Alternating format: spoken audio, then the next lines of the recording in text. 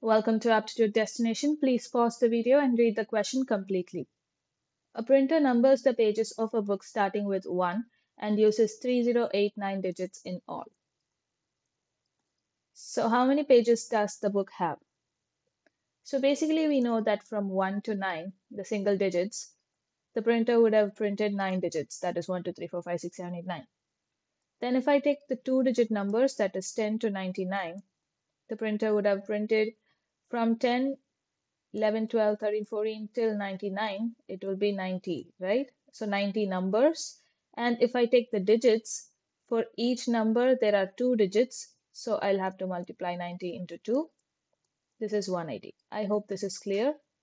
So let's write the 9 here. Next, if I take the three digit numbers, sorry, 100 till 999, I'll be writing 900 numbers, right, in total. And for each number, three digits are being printed. So into 3. This will give us 2700. Adding these up, we get 2889. So these are the number of digits that has been printed from 1 to 999. Now we are supposed to find how long we would have gone after 999 so that we printed 3089 digits. So basically I'm going to subtract these so that I can find out how many more digits I have printed. So subtracting 3089 minus 2889 would give me 200.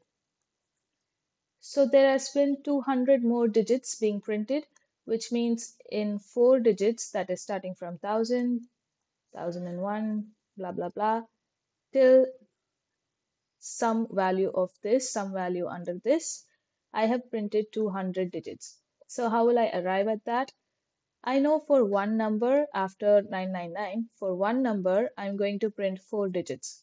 The next number, four digits. So basically for a single number, I'm printing four digits. Now we know that 200 is the total number of digits that I printed after 2889 digits. So I'm going to divide 400 by, sorry, 200 by 4 so now I will get how many numbers I have printed after 999. That is 50.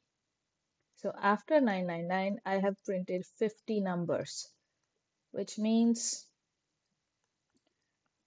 1049 is the answer. Therefore, option C is the right answer.